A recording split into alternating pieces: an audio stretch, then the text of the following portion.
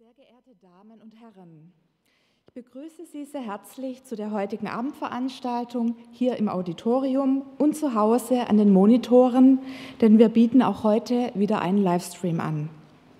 Die Stiftung Topographie des Terrors hat für den heutigen Abend gemeinsam eingeladen mit der Deutschen Verlagsanstalt. Unser Thema ist der Titel eines aktuellen Buches, das vor einem Monat auf Deutsch erschienen ist. Das Dritte Reich und seine Verschwörungstheorien, wer sie in die Welt gesetzt hat und wem sie nutzen. Begrüßen möchte ich sehr herzlich den Autor, Professor Sir Richard Evans aus Cambridge, außerdem Professor Dr. Michael Wild, der mit dem Autor ein Gespräch über sein Buch führen wird. Nach dem Vortrag und dem Podiumsgespräch gibt es wieder Gelegenheit, Fragen zu stellen, hier live im Raum und für die Zuschauerinnen und Zuschauer zu Hause schriftlich per E-Mail. Die E-Mail-Adresse wird daher während der Veranstaltung mehrmals eingeblendet. Diejenigen, die hier im Saal ihre Fragen stellen, möchten wir bitten, zum Mikrofon zu gehen, damit sie auch im Livestream übertragen werden. Bitte legen Sie in diesem Fall auch wieder die Maske an. Am Mikrofon selbst und auf den Sitzplätzen besteht keine Maskenpflicht. Meine Damen und Herren, Verschwörungstheorien haben wieder Konjunktur, auch mit Blick auf die Corona-Pandemie. Nicht von ungefähr beschäftigt sich auch ein aktuelles Heft der Bundeszentrale für politische Bildung explizit mit Verschwörungstheorien. So heißt es in der Einführung der Zeitschrift aus Politik und Zeitgeschichte, ein signifikanter Teil der Bevölkerung glaubt an sie.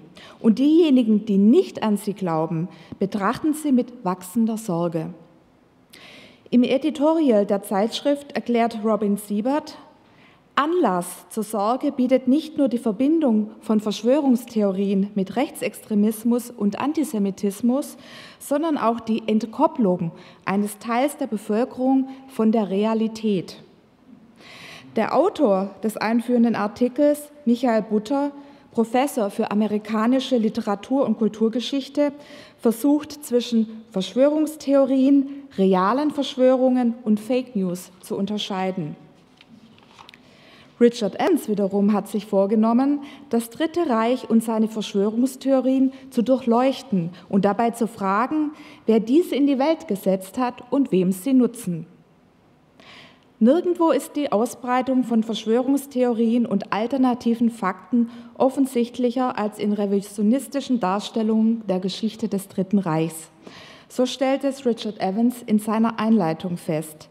Wir sind gespannt auf seine Analysen und auch gespannt, welche Einsichten wir daraus gewinnen können, nicht zuletzt mit Blick auf unser digitales Zeitalter und auf weitere Verschwörungstheorien, die heutzutage Verbreitung finden. Ich möchte Ihnen nun kurz Professor Michael Wild vorstellen. Herr Wild ist Professor für deutsche Geschichte im 20. Jahrhundert mit Schwerpunkt im Nationalsozialismus an der Humboldt-Universität zu Berlin. Er hat zahlreiche Veröffentlichungen vorgelegt. Zwei seiner neueren Publikationen möchte ich nennen. Herr Wild ist Mitherausgeber des Sammelbandes Die SS nach 1945, Entschuldungsnarrative Populäre Mythen, europäische Erinnerungsdiskurse. Und in zweiter Auflage liegt sein 2019 erschienener Band vor, Die Ambivalenz des Volkes, der Nationalsozialismus als Gesellschaftsgeschichte. Herr Wild, Sie haben das Wort.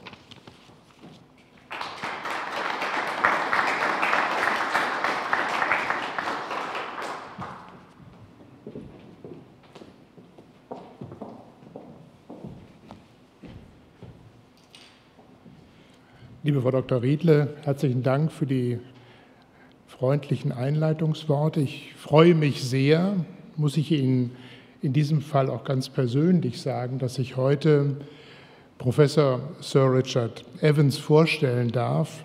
Denn es gibt eine lange, lang zurückreichende persönliche Verbindung.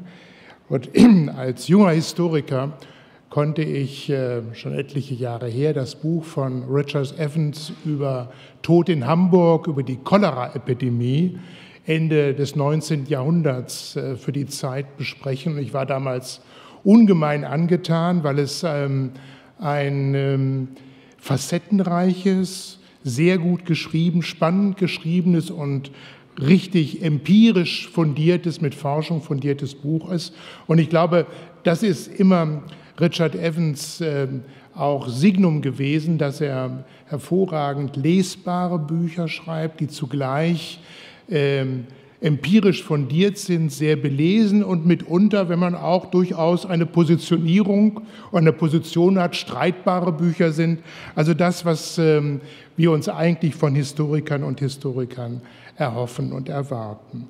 Er war lange Jahre im Birkbeck College in London als Professor tätig und ist seit 1998 in Cambridge Professor für Modern History, seit 2008 der Regals ähm, Chair, ein besonders ähm, ausgewiesener und geachteter, ausgezeichneter Lehrstuhl.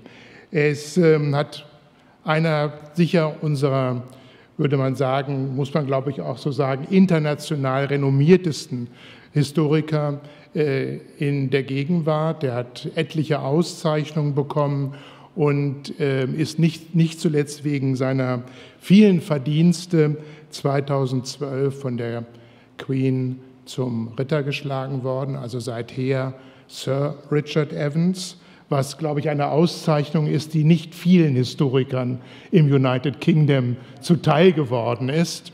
Ähm, und ähm, was, glaube ich, dann auch eine besondere, eine besondere Auszeichnung ähm, äh, erwähnt.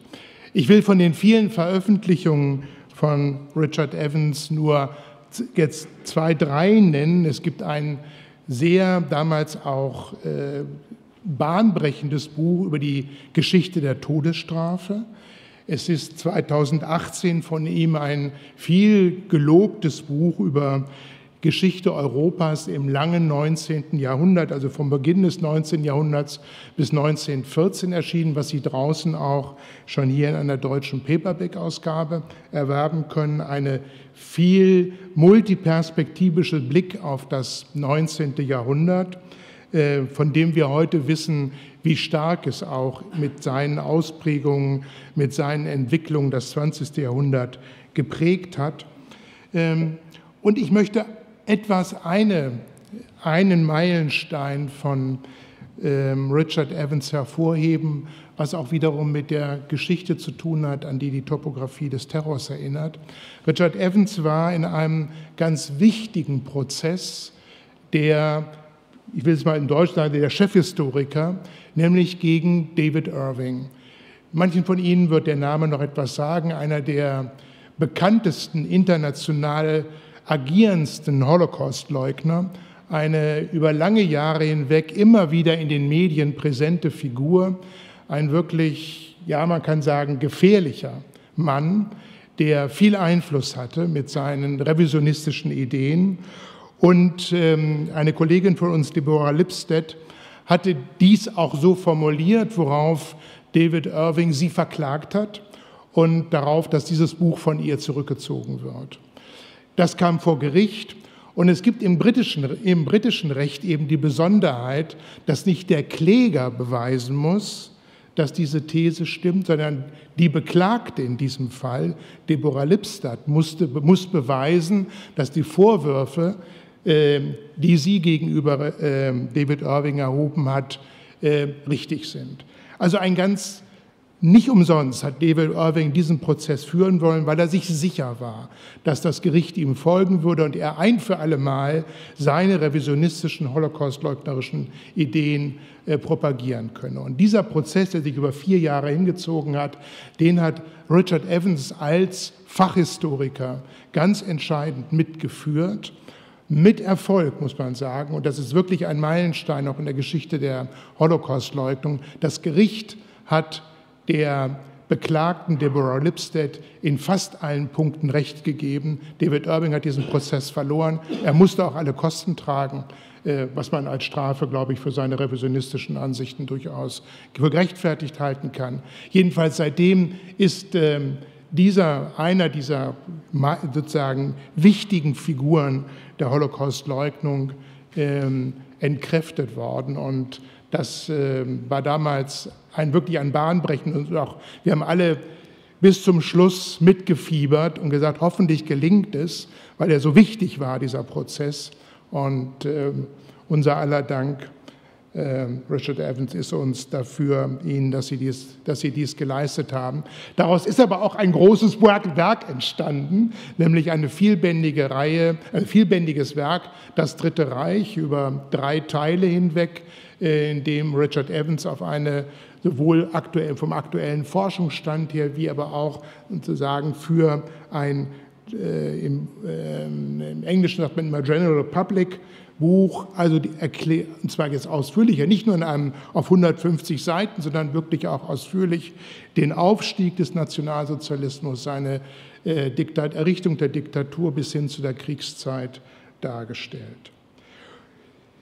Daher kommt die auch besondere Expertise, also Sie sehen, Richard Evans ist ausgewiesen für die europäische und internationale Geschichte, moderne Geschichte seit dem, mit, dem, mit dem Todesstrafenbuch ja auch seit Ende des 18. Jahrhunderts, 17. Jahrhunderts kann man sagen, bis in die Neuzeit hinein.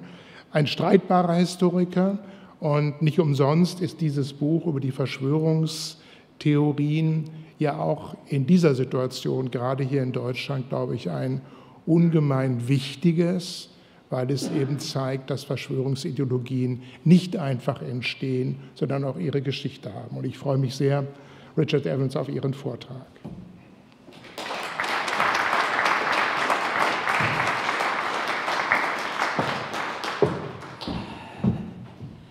Ja, vielen Dank für die Einladung zum, äh, zur Topographie des Terrors und vielen Dank, äh, Herrn Wild, für diese ausführliche und äh, ähm, lobende Einführung und Einleitung. Ähm, also, äh, ich beginne zugleich mit der Feststellung, dass die Vorstellung, dass nichts in der Geschichte zufällig geschieht, dass nichts so ist, wie es auf den ersten Blick scheint, dass alles, was vor sich geht, das Ergebnis geheimer Machenschaften, böswilliger Gruppen ist, die hinter den Kulissen die Geschehnisse manipulieren. Diese Vorstellung ist so alt wie die Geschichte selbst. Dennoch wird von vielen die Meinung vertreten, dass Verschwörungstheorien im 21. Jahrhundert vom Aufstieg des Internets und der sozialen Medien befördert populärer und weiter verbreitet sein als jemals zuvor. Zumal der Einfluss der traditionellen Torhüter der Meinungszirkulation wie Zeitungsredaktionen und Buchverlage schwindet und die in dem vertretenen Begriff der alternativen Fakten aufgehobene Unsicherheit gegenüber dem, was wahr oder falsch ist, allgemein zunimmt.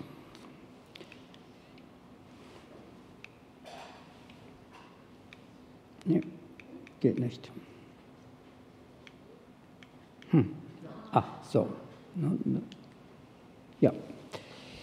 So laut Josef, Joseph Oginski, einem der gegenwärtig führenden Wissenschaftler auf diesem Gebiet, sind Verschwörungstheorien zu einem Kennzeichen des frühen 21. Jahrhunderts geworden. Sie sind, so meint er, sie sind zum Sammlungsruf großer politischer Bewegungen geworden das Internet einst als Instrument der Demokratie gepriesen wird, um des Profits oder der Macht willen benutzt, um die Massen mit Fake News zu manipulieren, die hauptsächlich auch aus erstunkenen und erlogenen Verschwörungstheorien bestehen. Unsere Kultur, so stellt Oginski fest, unsere Kultur wird von Verschwörungstheorien überschwemmt. Nirgendwo ist die Ausbreitung von Verschwörungstheorien und alternativen Fakten offensichtlicher als in revisionistischen Darstellungen der Geschichte des Dritten Reichs. Lange diskreditierte Legenden sind hierbei in letzter Zeit zu neuem Leben erwacht und erhalten durch neu entdeckte Belege und neue Blickwinkel der Betrachtung scheinbar Glaubwürdigkeit.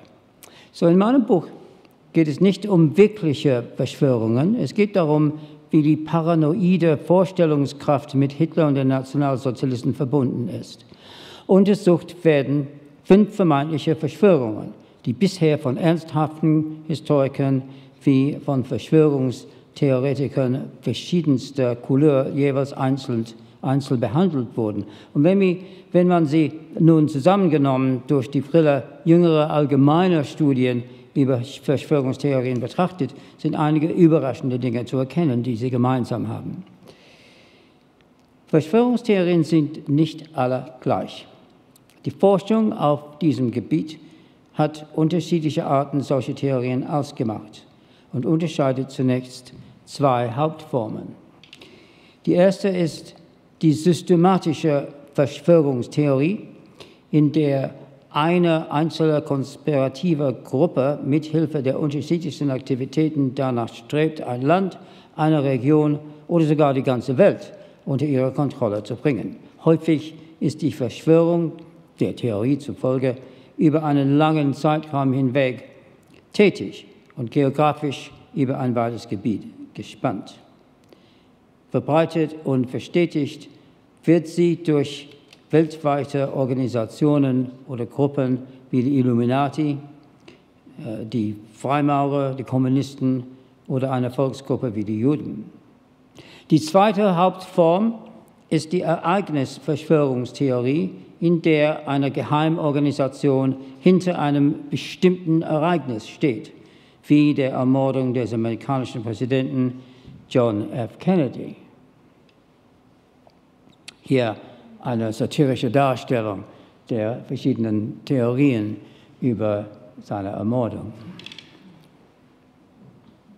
Oder äh, auch äh, der vermeintlich gefälschten Landung von Menschen auf dem Mond. Diese Verschwörungen werden in der Regel als kurzfristige Phänomene beschrieben, die wenige Wochen oder Monate, höchstens aber einige Jahre in Anspruch nehmen. Wichtig ist die Tatsache, dass beide Arten von Verschwörungstheorien hinter historischen und häufig auch aktuellen Ereignissen das Wirken verborgener Kräfte annehmen. Gemeinsam ist beiden Formen ferner die Auffassung, dass sie von Verschwörungstheoretikern sogenannte offizielle oder anders ausgedrückt allgemein anerkannte, auf, äh, anerkannte Auffassung eines Vorgangs oder Ereignisses oder einer Ereigniskette falsch sei. Tatsächlich impliziert schon die Benutzung des Attributs offiziell, dass Regierungen oder mächtige Eliten Historiker, Wissenschaftler, Journalisten und andere dazu gebracht haben, Narrative zu verbreiten, deren Zweck es ist, die Wahrheit zu verbergen, um den Status quo zu bewahren und sie an der Macht zu halten. Dies wiederum bestärkt die Verschwörungstheoretiker darin, dass sie die einzige, die wirklich als einzige die wirkliche Wahrheit kennen. Im Mittelpunkt der ersten dieser angeblichen Verschwörungen steht die berüchtigte gefälschte antisemitische Hetzschrift, die Protokolle der Weisen von Zion, um die sich das erste Kapitel dreht. Wo ist das Pamphlet fabriziert worden? Warum ist es so verbreitet? Brachte es letztlich Hitler dazu, den Holocaust in Gang zu setzen? Waren die Protokolle mitunter eine Vollmacht für den Völkermord und sind daher ein klassisches Beispiel für die Gefährlichkeit von Verschwörungstheorien, wenn man zulässt, dass sie wuchern und sich über die Welt ausbreiten. Und hier Norman Cohns grundlegendes Buch über die sogenannten Protokolle. Aber geschwätzig, chaotisch, umstrukturiert, kurz nach Ende des Ersten Weltkriegs, als eine Mischung von plumpen Fälschungen, Plagiat und Erfindungen entlarvt, können die Protokolle kaum als Musterbeispiel für antisemitische Hetzrhetorik herhalten. Bemerkenswerterweise fehlen viele der Kernelemente der antisemitischen Ideologie in den sogenannten Protokollen. So fallen traditionelle Aussagen des religiösen Antisemitismus durch ihre Abwesenheit auf. Beispielsweise sagen die angeblichen jüdischen Verschwörer, die angeblich dann die Protokolle geschrieben haben, nicht, die Juden hätten Jesus getötet. Sie würden Hostien schänden, Brunnen vergiften, christliche Knaben ermorden. Auch moderne, rassisch antisemitische Klischees sind in den Protokollen nicht zu finden. Wirkungsvoll waren die Protokolle vor allem deshalb, weil sie behaupteten, ein authentischer Beleg für die Existenz einer jüdischen Weltverschwörung zu sein, die von einem organisatorischen Zentrum der internationalen jüdischen Gemeinde ausgehe. Man brauchte sie also kaum zu lesen. Sie waren einfach durch ihre Existenz eine Bestätigung vorgefasster antisemitischer Vorurteile. So schrieb am 13. Mai 1943 Joseph Goebbels in seinem Tagebuch, zitiere, wenn die zionistischen Protokolle nicht echt sind, so sind sie doch von einem genialen Zeitkritiker erfunden worden. Ich komme mittags beim Führer auf diese Themen zu sprechen. Der Führer, sagte, schrieb Goebbels, der Führer vertritt den Standpunkt, dass die zionistischen Protokolle absolute Echtheit beanspruchen können. So genial könnte kein Mensch das jüdische Weltherrschaftsstreben nachzeichnen, wie die Juden es selbst empfanden. Der Führer ist der Meinung, das schrieb Goebbels, dass die Juden gar nicht nach einem festgelegten Programm zu arbeiten brauchten. Sie arbeiten nach ihrem Rasseninstinkt, die, der sie immer wieder zu einem Handeln veranlassen wird, wie wir sie im Verlauf ihrer ganzen Geschichte gezeigt haben, so Goebbels. Also die Protokolle hatten also äh, eher indirekten als direkten Einfluss auf Hitler und die Nationalsozialisten. Tatsächlich waren sie für die Nationalsozialisten keine Offenbarung, sondern lediglich eine Bestätigung dessen, was sie bereits glaubten. Das zweite Kapitel in meinem Buch befasst sich mit der Dolchstoßlegende, der zufolge die deutsche Niederlage im Ersten Weltkrieg das Ergebnis der Schwäche der Heimatfront war.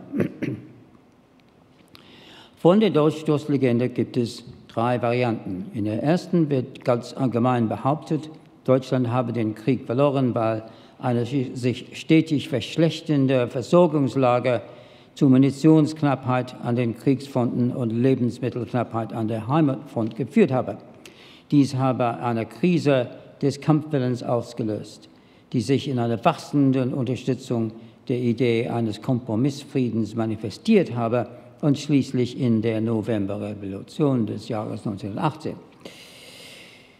Die zweite Variante enthält den konkreteren Vorwurf, die Sozialdemokraten hätten die Moral der Truppe untergraben, indem sie in der Heimat und bei den Streitkräften äh, selbst und Zufriedenheit schürten, um eine demokratische Revolution auszulösen, wie eben jene, durch die der Kaiser am 9. November 1918 gestürzt und die angeblich reale Möglichkeit, weiterzukämpfen, zunichte gemacht wurde. Die dritte Variante, die vom rechtsextremen Rand des politischen Spektrums vertreten wurde, betrachtete Sozialismus wie Revolution als Formen jüdischer Subversion, wie sie in den Protokollen genannt wurde. Gegen alle drei Varianten sprechen schon allein schon der Zeitpunkt des militärischen Zusammenbruchs und der Revolution. Die Moral der deutschen Truppen begann aus militärischen Gründen nach der gescheiterten Frühjahrsoffensive von 1918 zu bröckeln, spätestens im Juli. Anfang September war klar, dass der Krieg verloren war. Anfang Oktober begann sich an der Westfront stehende Heer aufzulösen. Hier ein, eine antisemitische Zeichnung von Philipp Scheidemann, äh, der äh, die, die, Truppen dann in den Rücken äh, äh und hinter ihnen dann stehen die, die Juden. Der Gedanke, dass es zur Verteidigung des Vaterlands hätten weiterkämpfen können, während immer mehr Soldaten desertierten, war und ist reine Fantasie. Und hätte der, das deutsche Heer es getan, wäre es kriegsmüde, geschwächt, schlecht versorgt und ausgedünnt äh, von den überlegenen alliierten Verbänden niedergewalzt worden, die Tag, die Tag für Tag durch frische amerikanische Einheiten und zusätzliche Panzer, mit denen die deutschen Stellungen leicht überrollt werden könnten, weiter verstärkt wurden. Alle drei Varianten der Dolchstoßlegende wurden höchstwahrscheinlich nur von einer Minderheit der deutschen Bevölkerung geglaubt, am allerwenigsten natürlich von den Millionen, die die Sozialdemokratie äh, unterstützten. Selbst die Nationalsozialisten benutzten sie in ihrer Propaganda kaum. Zwar verdammte Hitler die Novemberverbrecher und Kriegswucherer, aber viel wichtiger war es für ihn, die Notwendigkeit, im kommenden Krieg die Fehler des letzten zu vermeiden, anstatt weiterhin die alten Eliten wegen ihrer angeblichen Willensschwäche im Jahre 1918 zu attackieren, was diese der NS-Partei und NS-Regime, in dem es ihre Unterstützung brauchte, nur entfremdet hätte, entschied sich Hitler dafür, sie auf dem Weg zu Krieg und Eroberung mit sich zu ziehen. Das dritte Kapitel beschäftigt sich mit dem Reichstagsbrand in der Nacht vom 27. bis 28. Februar 1933, wenige Wochen nach Hitlers Ernennung zum Reichskanzler. So.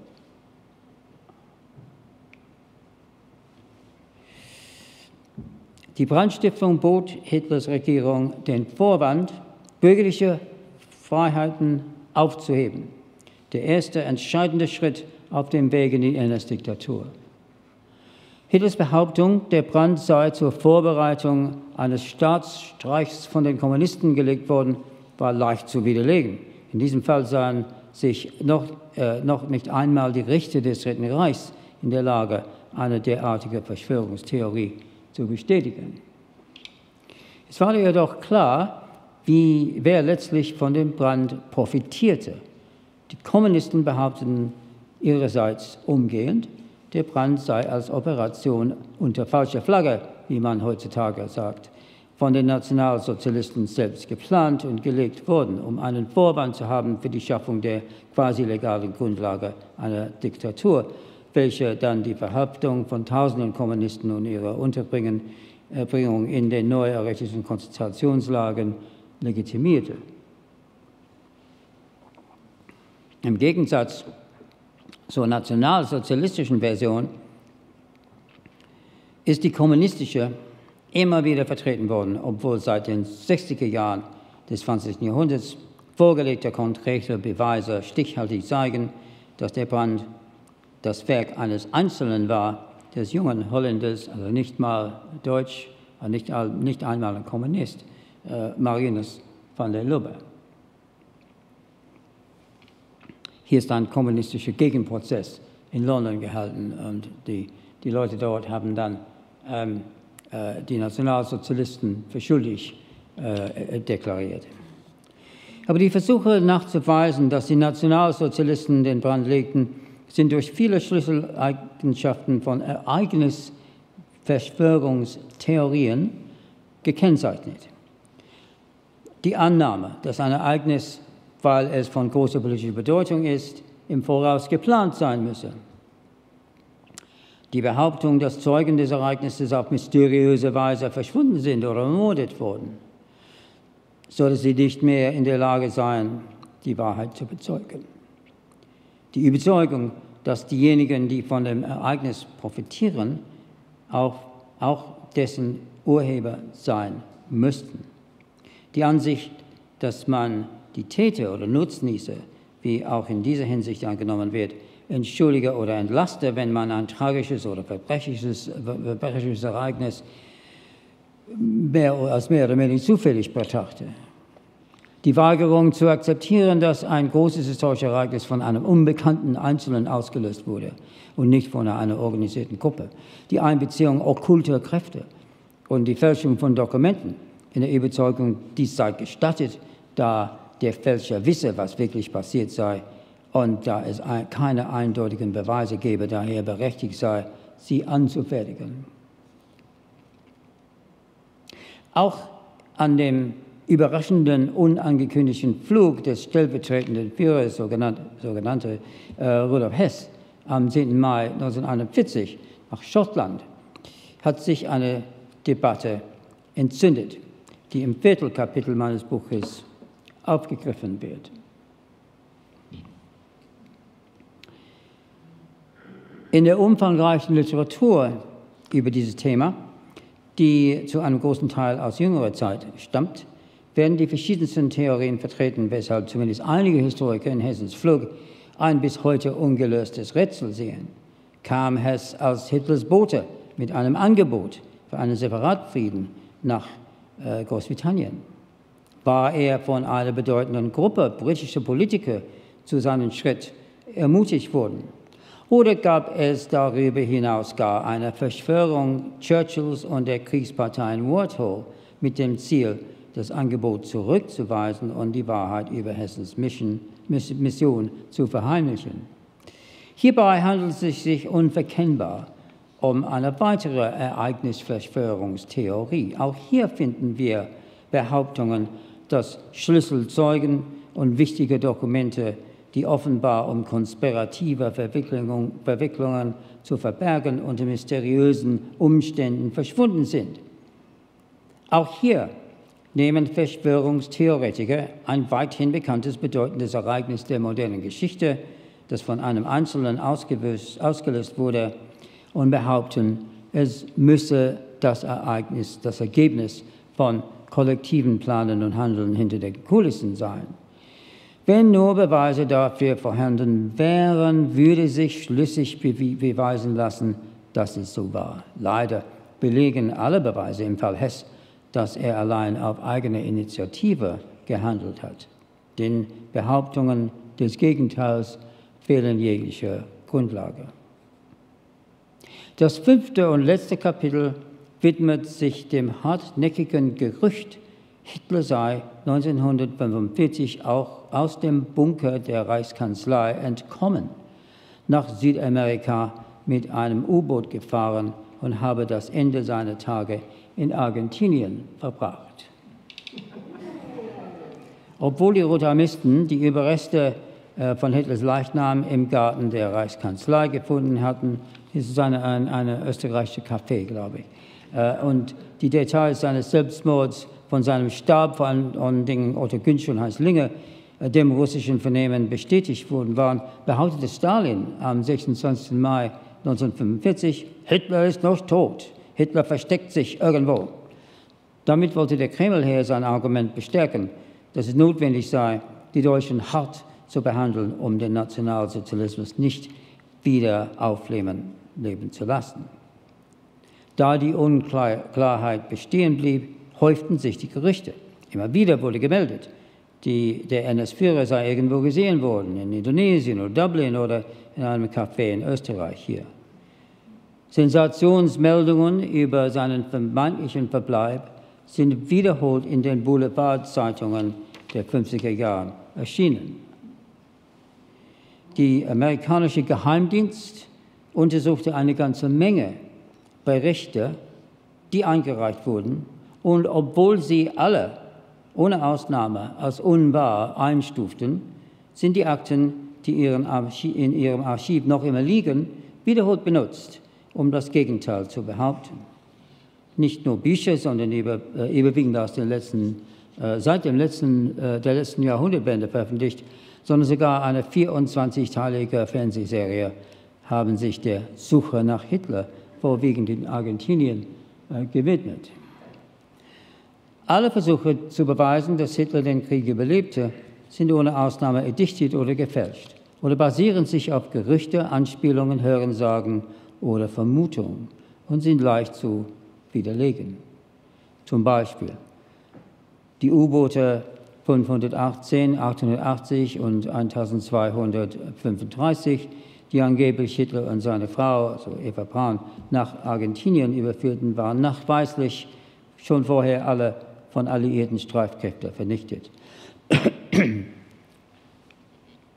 Von Eva Braun einer eifrigen Fotografin ist keine einzige Fotoaufnahme erhalten, die aus der Zeit nach dem Krieg stammt. Hier vor dem Ende des Krieges in äh, Obersalzberg. Typisch ist die Behauptung äh, von einem eines Autoren, dass die Aussage der argentinischen Frau Catalina Gomero, eine, ich zitiere, Bestätigung von einem echten Menschen, dass Hitler nicht 1945 in dem Bunker gestorben ist. Gomero erinnerte sich an einen geheimnisvollen Gast in einem deutschen Haushalt, in dem sie in Argentinien äh, kurz nach dem Krieg arbeitete. Von der Hausherrin haben sie erfahren, dass der Mann Hitler sei. Sie durfte aber den Mann nicht sehen, sondern musste sein Essen auf einem Tablett vor seinem Schlafzimmer abstellen. Er, wie sagte sie, sie sagte, er aß dasselbe wie alle anderen im Haus. Typisch deutsche Gerichte. Wurst, Schinken, Gemüse. Aber der ungesehene Gast kann schon deshalb nicht Hitler gewesen sein, da, äh, dass, äh, da dieser bekanntlich, äh, wenn ich den Ausdruck benutzen darf, ein eingefleischter Vegetarier war. Noch abwegiger sind die Behauptungen, Hitler sei äh, mit einem neu erfundenen deutschen Raummaschine nach Antarktika transportiert, wo er in einem unterirdischen Höhle weiterlebte, oder dass er mit Hilfe von außerirdischen Fremdlingen äh, gerettet wurde. Oder gar, dass er irgendwann von einem Doppelgänger ersetzt worden war, was von seinen Sekretärinnen vehement dementiert wurde. Sie hatte den, hätten, hätten den Doppelgänger offensichtlich erkannt.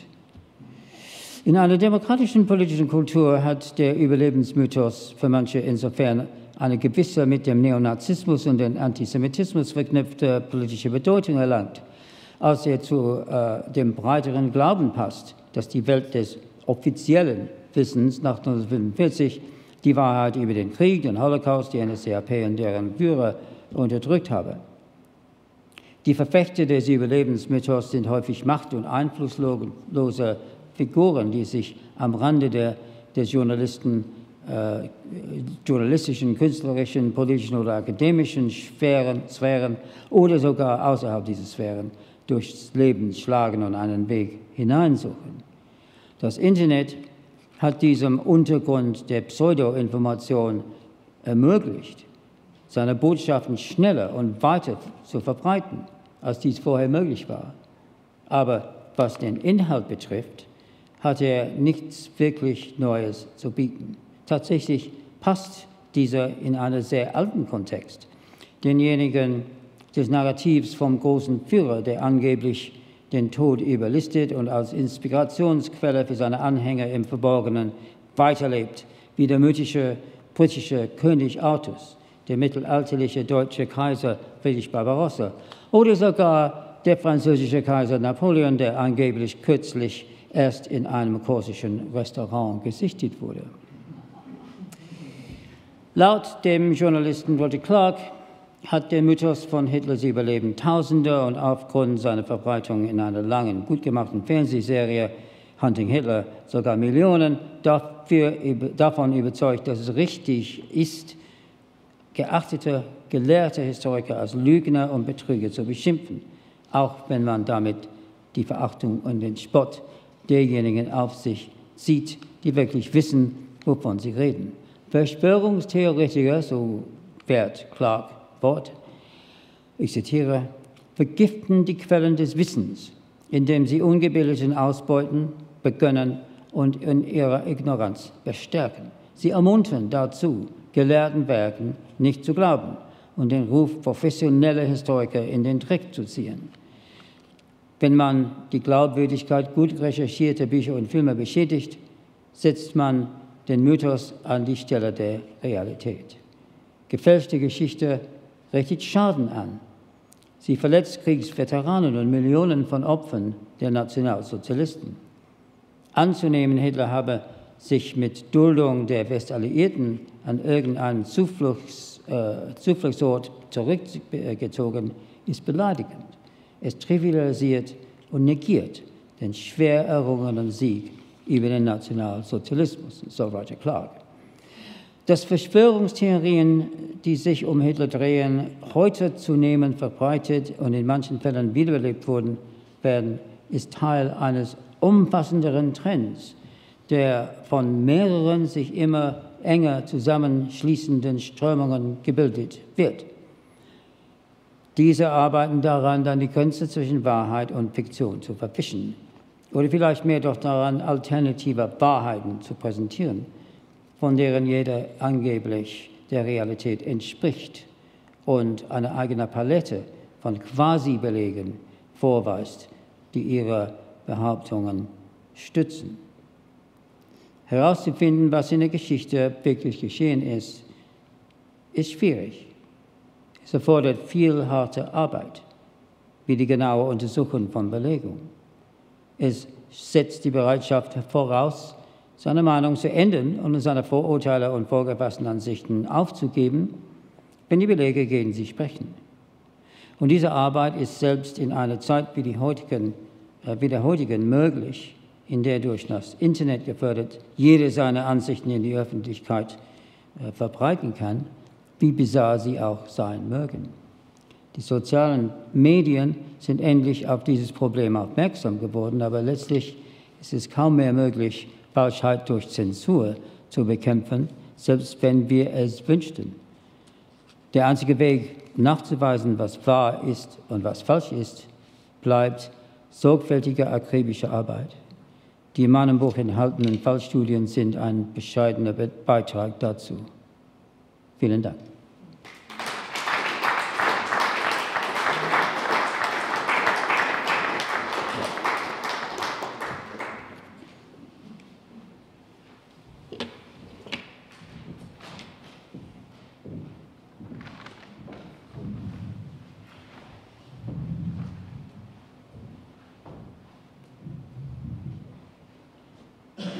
Ja, ganz herzlichen Dank für diese Einführung in verschiedene, man würde sagen, typische verschwörungsideologische Szenarien der äh, Nazizeit.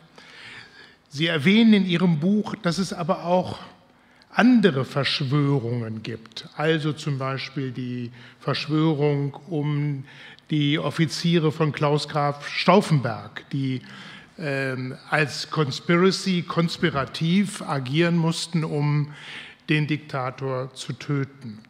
Oder auch die Nürnberger, die Alliierten haben die Hauptkriegsverbrecher angeklagt zu einer wegen, einer der Hauptanklagepunkt Verschwörung zum Krieg führen. Wie kann man diese verschiedenen Verschwörungen analytisch voneinander unterscheiden? Gibt es gute und schlechte Verschwörungen oder gibt es Kriterien, an denen wir die Verschwörungsideologien, die Sie gezeigt haben, erkennen können? So, eine gute Frage. Sie, äh, also eine, eine Verschwörung ist, ähm, äh, muss insgeheim vorbereitet werden, muss von einer Gruppe gemacht werden und muss ein Ziel haben. Äh, so Verschwörung ist nicht, zu, nicht gleichzusetzen mit Fake News zum Beispiel, obwohl einige, einige äh, Leute äh, machen das. Äh, es gab und gibt natürlich echte, wirkliche Verschwörungen. Und Sie haben dann die Verschwörung um Stauffenberg erwähnt. aber im Großen und Ganzen hat Hitler dann, Hitler kein Verschwörungstheoretiker wie zum Beispiel Stalin. Stalin sah Verschwörungen überall. Der hat Tausende, Hunderttausende ermordet äh, im Namen einer Verschwörungstheorie, dass, dass sie absichtlich dann den Bolschewismus oder die Sowjetunion unter, unter, untergraben haben. Äh, die äh, Schauprozesse der 30er Jahre, dann 30er Jahren waren ein, ein, schreckliches, ein schreckliches Beispiel da, dafür. Ähm, das kam daraus, äh, dass, weil eben deshalb, weil äh, Stalin sozusagen aus, äh, angefangen hat, die Macht für sich zu nehmen innerhalb einer großen Gruppe von gleich, gleich, gleich, gleichen ähm, oder von, von Kommunisten auf der gleichen Ebene wie Zinoviev, Bukharin und so weiter. Und er dachte, dass er, äh, er wollte dann seine, äh, seine Alleinmacht, ähm, seine alleinige Macht dann stärken, indem er sie dann ähm, äh, äh, angeschuldigt hatte, dann äh, in Verschwörung verwickelt zu werden gegen ihn. Also Hitler äh, musste das nicht machen. Der war von Anfang an der Führer. Die anderen wie Göring, Goebbels und so weiter, die waren alle auf zweiter Ebene. Selbst Ernst Röhm äh, war eigentlich kein Verschwörer, denn alles, was er gemacht hat, war offen und, äh, und, äh, war, und öffentlich. Der, hatte, der war etwas äh, ein naiver Mensch, glaube ich, und der, der machte keinen Hehl daraus, dass er die SA, den, äh, die Reichswehr oder Wehrmacht dann ersetzen wollte. Also Hitler war kein, eigentlich kein Verschwörungstheoretiker. In meinem Buch geht es um Verschwörungstheorien, nicht um Verschwörungen. Äh, ich habe eine Verschwörungstheorie, eine sehr wichtige und einflussreiche Verschwörungstheorie äh, nicht behandelt. Das ist die Holocaust-Leugnung, weil ich da schon dann im Irving-Prozess und dann in meinem Buch darüber dann behandelt habe. Äh, aber so, die, die, die Holocaust-Leugnung behauptet, behauptet dass, dass es eine große Verschwörung gegeben hat unter Historikern, Journalisten und so weiter, dann die Tatsache zu vermeintlichen, dass, dass das Holocaust eigentlich nicht stattgefunden hat. Ich finde, Sie haben eine, in dem Buch eine, mal eine wichtige Beobachtung unterstrichen, dass ähm, Verschwörungsideologen sehr immer darauf bedacht sind, Fakt, Fakten zu schaffen oder Fakten zu sagen. Also fast obsessiv immer mit Zahlen, äh, Hinweisen, Informationen ihre Ideologie versuchen zu unterstreichen. Ist das ein allgemeines, besonderes auch Kriterium, mit dem man Verschwörungsideologien erkennen kann? Nicht, nicht immer. Also viele Verschwörungstheorien sind äh, über Twitter verbreitet zum Beispiel. Da hat man nur 280 Charakter äh, äh, zu, zu, äh, äh, zu benutzen. Aber in den Büchern, die versuchen dann Verschwörungstheorien zu beweisen, dann kommen Fußnoten und Quellenhinweise sehr häufig vor. Das ist eine so eine keine negative Wissenschaftlichkeit, kann man sagen. Und wie kann man eine sehr gut gemacht, professionell gemacht, 24-teilige Fernsehserie von 24 Programmen je eine Stunde machen, ohne ins Detail zu gehen. Obwohl äh, das alles natürlich, äh, also es gibt keine konkreten Belege.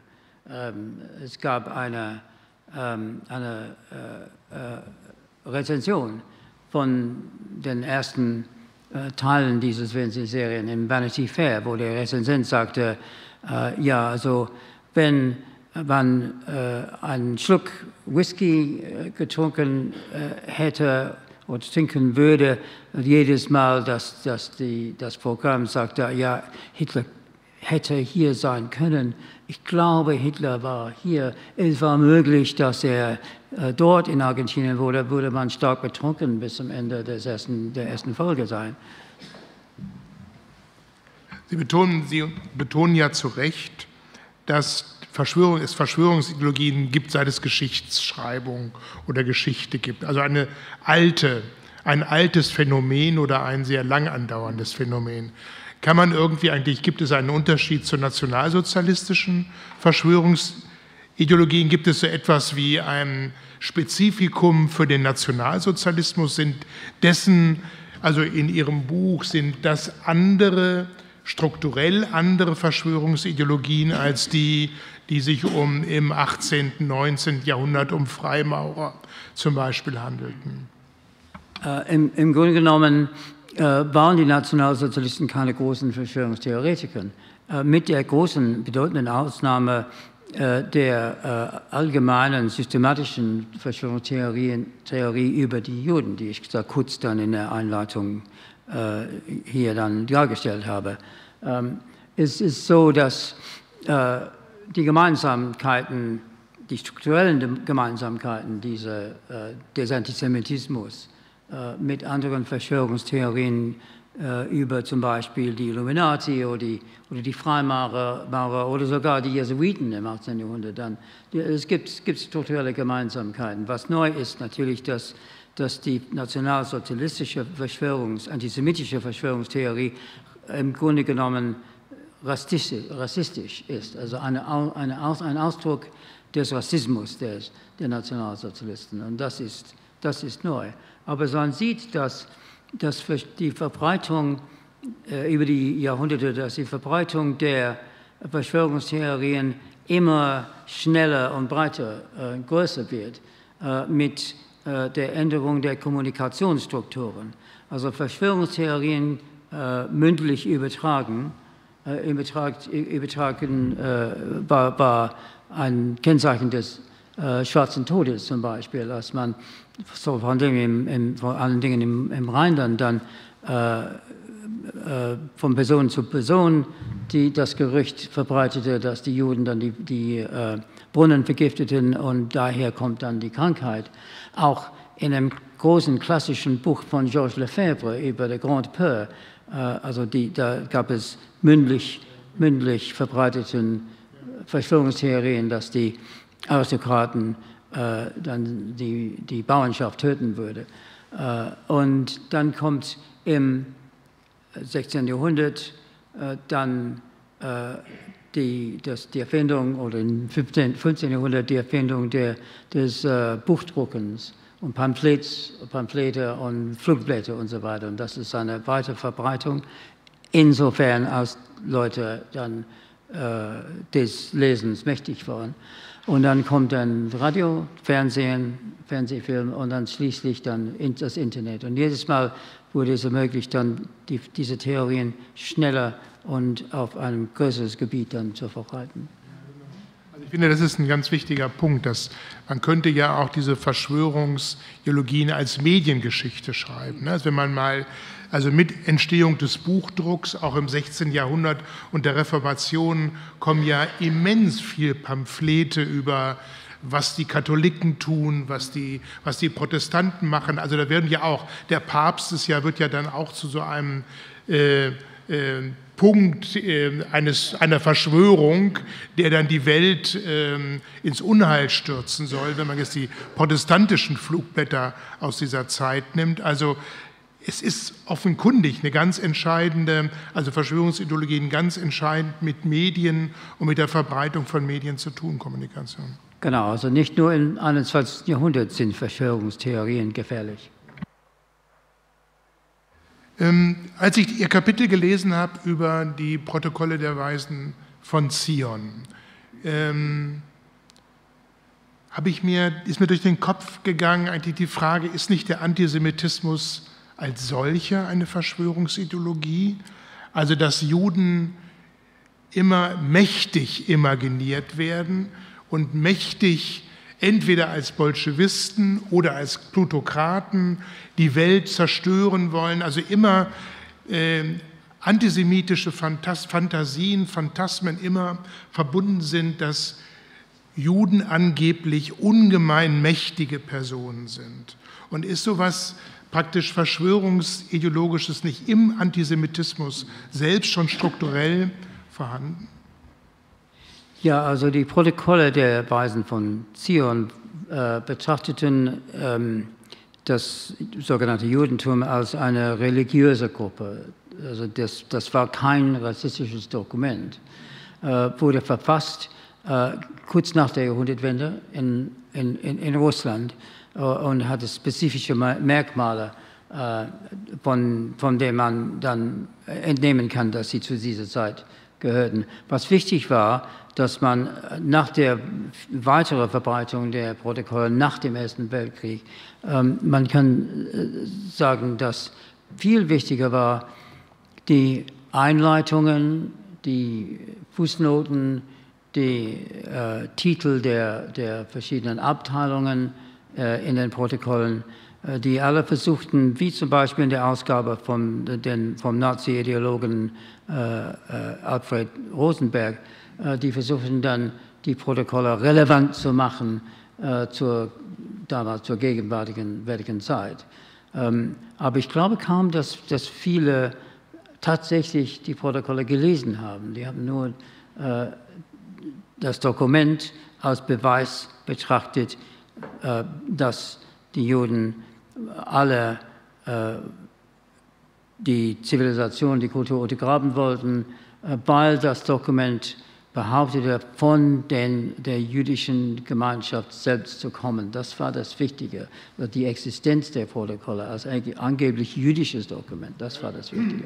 Das denke ich auch. Das war die, die Beglaubigung, dass dieses Dokument angeblich von dieser jüdischen Verschwörung selbst hergestellt worden ist. Es gibt, also man würde heute sagen, geleakt worden ist und wir auf einmal in diesem Dokument sehen, was die Juden angeblich ähm, selbst vorhaben. Ne? Und sie wurden entlarvt äh, vom, vom äh, äh Istanbul, äh, vom ja. Korrespondenten des Times, der Londoner Times in Istanbul. Das ist eine spannende Geschichte, so im Jahr 1920. Und ich habe dann seinen Nachlass äh, gefunden und erzähle daraus dann, wie er zu dem Schluss gekommen ist, äh, dass die Protokolle gefälscht wurden. Ja. Und natürlich, damit wollte der Times dann seinen, äh, äh, seinen Rivalen, der Morning Post, entgegentreten. Und der Morning Post hatte äh, die Protokolle als echt vorgestellt. Ja. Ich brauche einmal kurz eine Hilfe für das Passwort, um hier in den Chat zu kommen. Vielleicht kommt jemand einfach kurz und gibt das Kennwort ein. Sonst kann ich den, den Chat nicht lesen und die Fragen, die uns über den Livestream erreichen. Ähm, das wirft ja nochmal die Frage auf, ähm, jede Verschwörungsideologie wird sofort auch von klugen Menschen als Fälschung enttarnt. Und ähm, was macht trotzdem diese Verschwörungsideologien so mächtig? Obwohl es kluge Widerlegungen, also 1921 schon ein, der Journalist schon in der Times, glaube ich, war es, ne, äh, den die Protokolle als Fälschung widerlegt hat. Ähm, sie mit ihrem Buch, jede sozusagen dieser Einzelteile mit guten Argumenten, nachvollziehbaren, transparenten äh, Argumenten widerlegen. Und trotzdem gibt es so viele Menschen, die glauben, die Mondlandung sei in Hollywood äh, gespielt worden und Neil Armstrong hat nie einen, den Boden des Mondes berührt. Ähm, was ist die Kraft von diesen Verschwörungsideologien? Ja, also Warum glauben so viele Menschen? Ja, ganz daran? allgemein gesagt. Also wir leben in einer Zeit, wo wir wirklich von Informationen überflutet werden. Das, äh, äh also die Nachrichten in, in, Fernsehsendungen, 24 Stunden, sieben Tage in der Woche, äh, die, die überwältigende Komplexität des Lebens und der Welt ist kaum zu, äh, kaum zu fassen. Was die Verschwörungstheorien machen, ist das alles zu vereinfachen und auf, auf einen gemeinsamen Nenner zu reduzieren. Gut, hier, Böses, da, ähm, alles wird, alles was geschieht, äh, passiert deswegen, weil jemand es will. Äh, das, das vereinfacht und das macht man auch, das macht die Verschwörungstheoretiker. Ähm, das gibt ihnen einen, einen, ähm, ein gutes Gefühl, äh, weil sie die Wahrheit wissen und alle die ganzen Experten, die wissen es nicht. Äh,